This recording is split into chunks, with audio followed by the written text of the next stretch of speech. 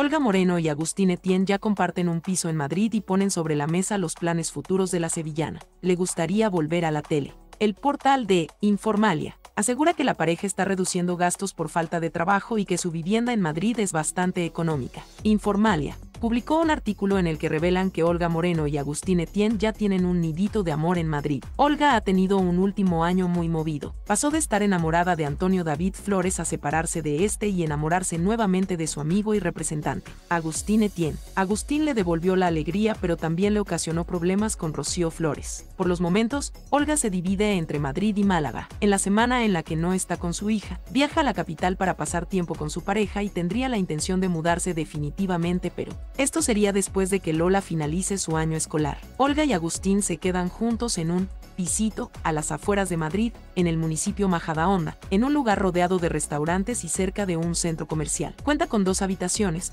un espacioso salón, dos baños, una amplia cocina, un trastero y un garaje. Según el portal, Etienne puede estar pagando un alquiler de 1.300 euros mensuales. El edificio también cuenta con comodidades como piscina, pista de pádel y jardines. En un principio era el departamento de soltero de Etienne, pero ya se ha convertido en el refugio de ambos. Por otro lado, Informalia asegura que a Olga le gustaría volver a la televisión, pero no quiere hablar de su propia vida. Según el portal, por ese motivo fallaron las negociaciones con el programa de Ana Rosa, en el que sustituiría a Rocío Flores. Tampoco querría ir a fiesta, pues ahí trabaja la novia de su todavía marido y mucho menos a un programa de La fábrica de la tele.